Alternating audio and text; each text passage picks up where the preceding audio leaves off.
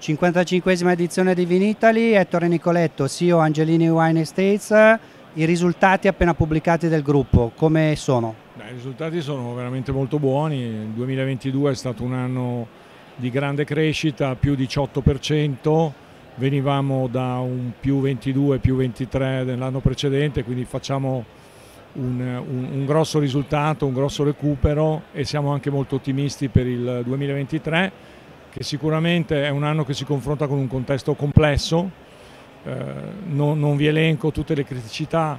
che dobbiamo fronteggiare perché sono state dette e ridette, però dal primo trimestre del 2023, confrontandoci con, con il trimestre dell'anno precedente,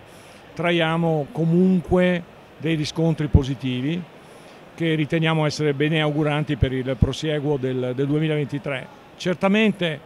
la prima, la seconda, il, secondo semestre, il secondo trimestre scusate, del 2023 sarà più difficile, ma poi vediamo una ripresa a partire dal secondo semestre. Quindi fiducia, ottimismo e ci mancherebbe anche che fossimo pessimisti. A livello di brand, Bertani sta ritornando ai fasti di un tempo. Ma insomma, io direi che Bertani non se n'era mai andata, eh, è lì, l'abbiamo un po' risvegliata, rienergizzata eh, ci sono moltissimi progetti tra cui spicca quello della Library.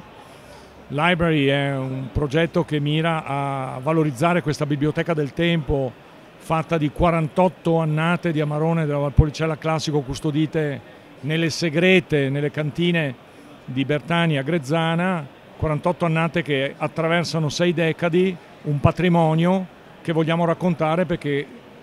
con questo racconto raccontiamo la storia di Bertani.